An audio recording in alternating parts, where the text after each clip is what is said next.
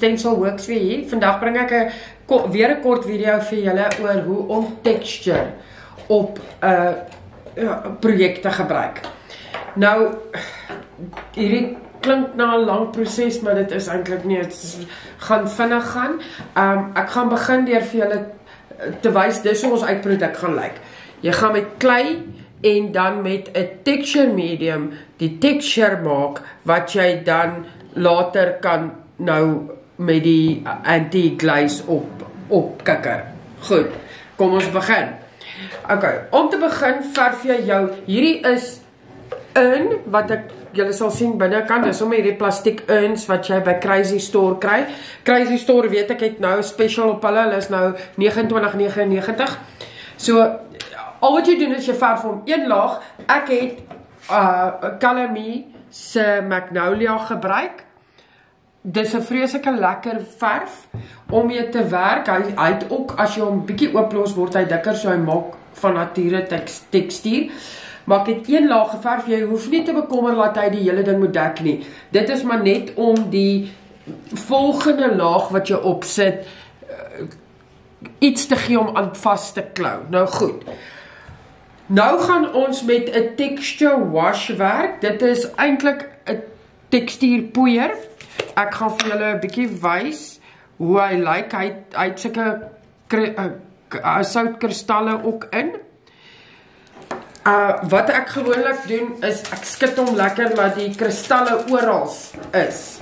Dan Ons nou net eers al die goetertjies wegsit. Dan wat jy doen is jy gooi 'n bietjie van hierdie tekstuur in 'n uh, bord of wat ook al wat jy gaan nou aanmaak. Nou hierdie tekstuur, jy kan nou baie aanmaak. Ek werk bietjies bietjies, dan vat jy jou verf. Hierdie is ons Desert Rose, ook van Calamy verf.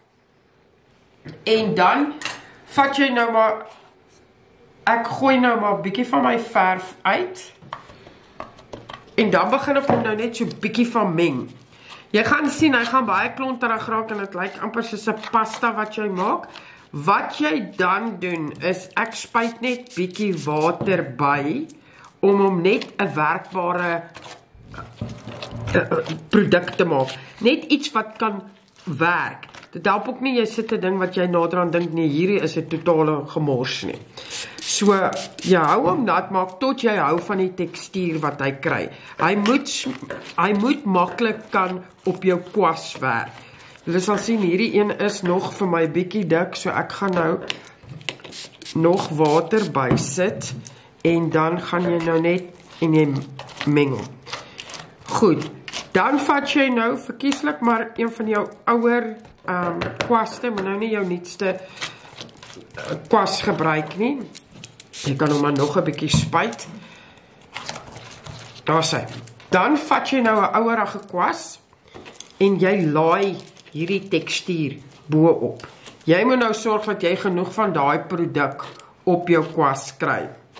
So ek smeer hom lekker dik as ek voel hy's nog vir my nie lekker smeerbaar genoeg nie, dan vat jy maar by begin jy vat en jy laai jou kwas.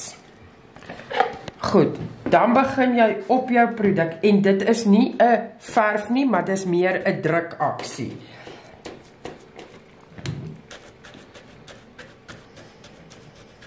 As jy nou nog meer poeier wil opkry, kan jy sommer direk so opsit en jy kan dit so ook doen. So nou gaan jy net oral en jy vat van jou van hierdie texture en jy smeer hom druk hom lekker op. So dit is meer 'n stippel effek en jy probeer om soveel as moontlik van jou kristalle, soutkristalle ook op te kry. Dit maak hom maklik oh, en dit gee vir hom lekker tekstuur.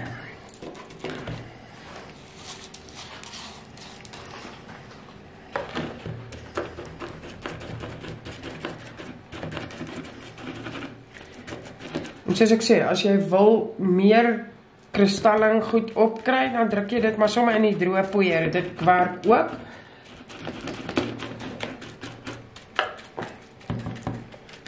En dan los jy hom nou eenkant. Jy kan duidelik sien die tekstuur wat hy al reeds gedoen het. As daar is dat jy voel maar jy soek nog op, dan laai jy maar net nog op jou kwas. Sorg dat jou kwas lekker tekstuur op het soos daar en dan druk jy daai net bo op.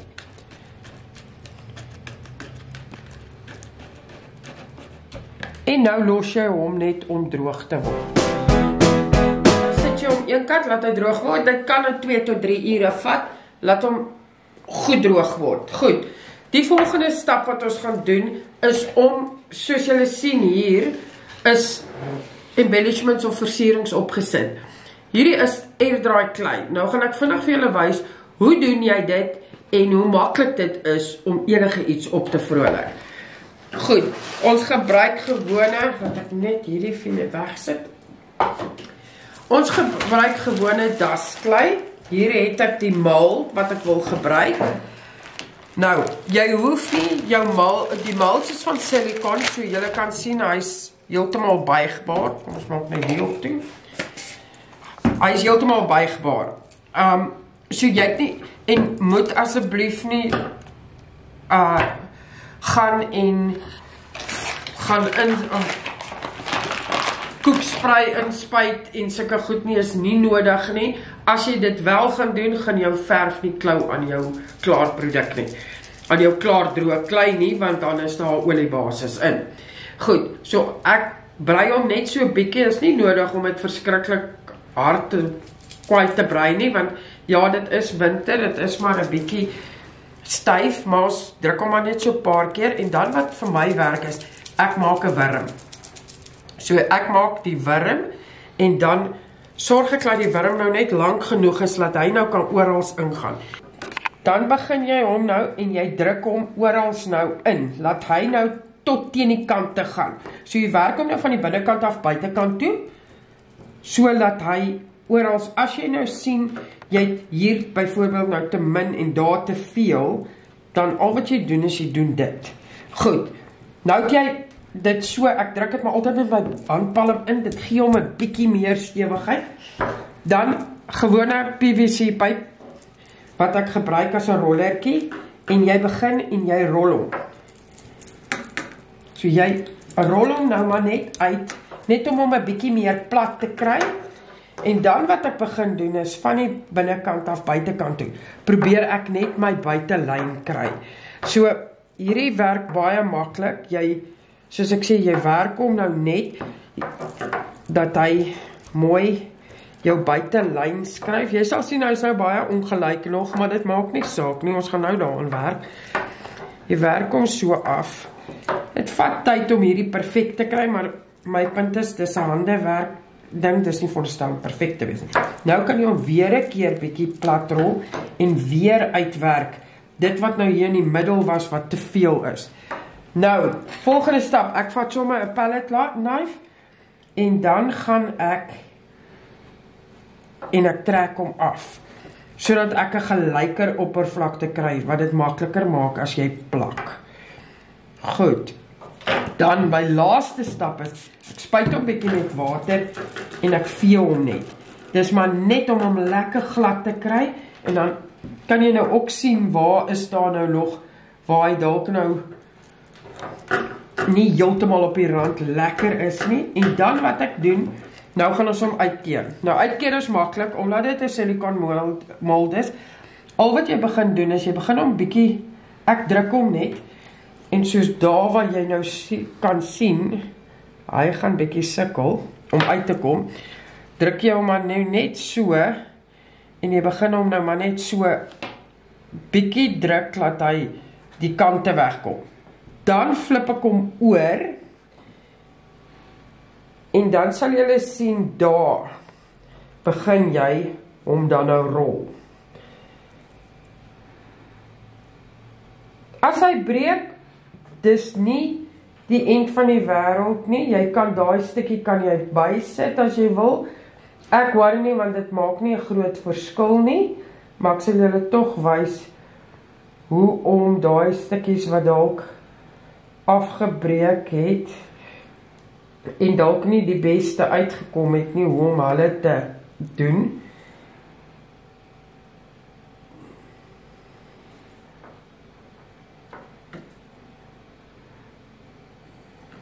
Daar sy so rol ons hom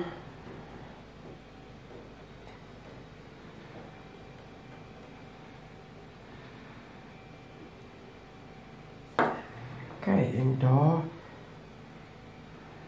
is hy nou klaar. Nou, daai enetjie wat julle gesien het wat daar afgebreek het, al wat ek nou doen is ek haal hom uit. Ek vat hom soontoe na daar waar hy gebreek het. En nou kan ek hom net daar vasdruk. Jy kan nou met 'n bietjie water gaan en hom net smeer dat hy nou net daar lekker inkom. Maar daar is hy. Goed. En en dan as hy nie wil saamwerk nie, dan maak ons hom nou maar net daar mooi. Niemand gaan weet hoe het die ding regtig gelyk nie. So nou vat jy hierdie ding is nou nat. Dis wat hierdie uh, uh, klei verskriklik lekker maak is omdat jy nie hoef te sukkel nie. Jy kan hom nou vat en soos ek hier gaan nou net laat ons nou nie daai goed bechoinks nie. Nou gaan jy en jy plaas hom waar jy hom graag sal wil sit. So ek gaan hom nou so sit en ek gaan hom nou laat ek wil nou hê hy moet 'n bietjie daai kant toe gaan. So nou lê jy hom so. Wat lekker is is nou kan jy hom buig want omdat jy 'n ronde ding het, het jy nie nie 'n stywe besigheid hier nie. So jy druk hom nou so. En dan Ek gebruik sommer alleen sticky glue, maar ter enige houtgom kan die ding ook doen. Ek gaan net die voetstuk afhaal, ek dink dit gaan makliker vir my werk. Goed, nou gaan ek en kom ons maak net so dat die ding nou nie rol terwyl ek werk nie. Dan wat jy nou doen is jy vat hier en jy begin hom vassit. Jy begin nou met jou gom Ek doen hom so en dan smeer ek hom nog laat hy in die hoeke ingaan. En so plak jy dan nou hierdie hele ding vas. Ek gaan nou hom net stuk stuk vir julle wys hoe ek hom doen.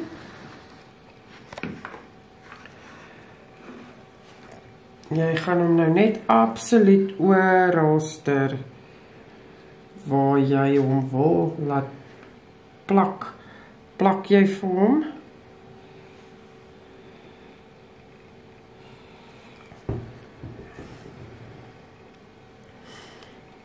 En dan kan jy nou gaan en oral waar jy krulle het, die krulle kan jy ook nou nog verder vasplak. Hierdie is hoe ek dit doen. Ek sê nie dis die perfekte manier nie, maar dis wat vir my werk. En dan nou hierdie laaste krul, die krulletjie, nou gaan ek hom nou so vassit. Nou kan jy die krulletjie manipuleer. So hy hoef nou nie reguit te wees soos wat hy dalk was op die jy vat hom nou so en oral hier druk jy vir hom nou plat. Jy sorg dat hy oral geplak is. Wat jy ook kan doen is voor jy hom opsit, smeer die hele ding met gom en doen dit dan. Um wat ook al werk, dan doen jy hom so, plak hom vas en dan om seker te maak hy hou dalk daar. Jy kan hom nou so lê om droog te word. Julle sal sien hier is wat hierdie een is al reeds droog. As hy spierwit is, dan is hy droog. So daar sal julle sien het hy nog die gryserige kleur. Goed. OK, nou kom ons by die hoe om die anti-glaze te doen. Nou anti-glaze is maar amper 'n afgewaterde manier van verf. Dit het net 'n glaze in wat die verf langer laat nat bly. Nou, wat jy doen is Antique glaze kry jy in twee kleure. Jy kry 'n smoky glaze wat meer 'n grys uh, ondertoon het. Hierdie is die antique glaze, hy's meer 'n bruinigere kleur. Nou, jy kan baie gothic gaan en dit baie donker maak of jy kan dit lig doen. Afhangend waarvan jy hou. Jy moet natuurlik 'n uh, tipe van 'n uh, lappie wat nie wolletjies afgee nie by hê. Dan wat jy doen is nou begin jy En veral op jou embellishments of in, op jou versierings, druk jy dit in al die groewe in. Jy doen hom so en dan probeer jy jou skaduwees inwerk. So jy druk nou en soos wat jy druk, begin jy dan nou en jy vee af ook. As goed vir jou voel dit is te donker, dan vat jy jou spuitbotteltjie, jy smee 'n spuit en jy vee af. So oral waar dit dalk vir jou voel dis te donker, kan jy nog smeer, spuit en afvee. En so kan jy dan nou gaan en jy doen hierdie hele ding. Jy kan selfs as jy voel dit is te donker, druk hom in so 'n bietjie water, druk hom droog en dan begin jy en jy maak jy sal sien daar's hy klaar. Baie ligter as wat hy gehad het. So hierdie is nou afhangend van hoe hoe shabby chic jy dit wil hê of dit werk of nie. Dan vee jy ook net af.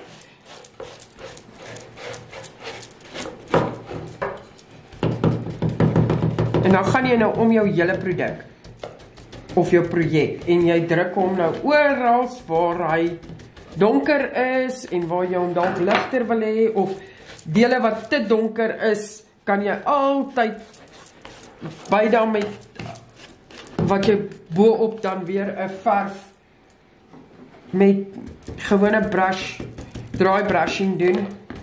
So dan doen jy dit. Kom ons haal maar die voetstuk op af. En dan gaan jy. Nou sal julle sien hier het ek al begin met dry brushing bo-oor. Nou baie mense sê vir my ah, ek weet nie hoe om te dry brush nie. Nou dit is baie baie maklik. Al wat jy doen, ek wil net hierdie ene hy bietjie te veel wit na my sin. Ehm um, nou wat jy doen met dry brushing? Ek gebruik sommer die solid was en dan wat ek gewoonlik doen is ek skud my verf goed. Laat dit in jou dekseltjie, dan gaan jy nou dan kan jy nou daar druk en dan op jou lappie en al wat jy doen is jy maak daai beweging. So daai jy kan nou gaan en jy kan nou absoluut net draai brush waar jy hom dra gedraai brush wil hê. As hy vir jou party plekke te donker is kan jy hom ligter maak. As hy te lig is maak jy hom donker met die so hierdie is absoluut een van daai goed van wat ook al jou smaak is. Um as jy wil dit heeltemal lig hê dan doen jy die bright brushing. As jy hou van die donker antiek gevoel, dan los jy hom net so en dan jy kan oral kan jy nou net weer ingaan en jy kan hom vat en jy vee af. OK, en dan kom ons sit maar net die voetstuk gou op. Hierdie voetstukke is nou nie beste ge, gemaakte goed nie, maar dit werk. Goed. Nou Dis hierdie drie wat ek gedoen het, sal julle sien nie een gaan dieselfde uitkom nie. Dis wat hierdie goed lekker maak. Is elkeen wat jy maak gaan anders te lyk. Jy kan vir 20 mense dieselfde geskenk gee en elkeen lyk anders te.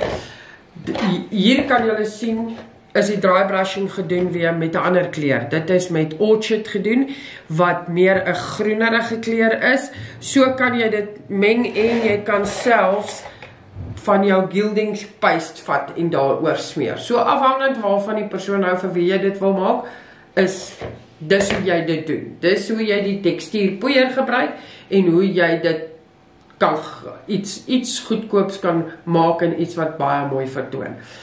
Julle ek hoop dit help julle 'n bietjie met die texture ding. Um kyk uit vir my volgende video gaan ek wys hoe om texture met gewone verf te doen.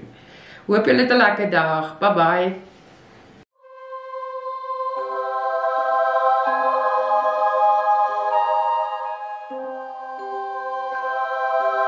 Thank.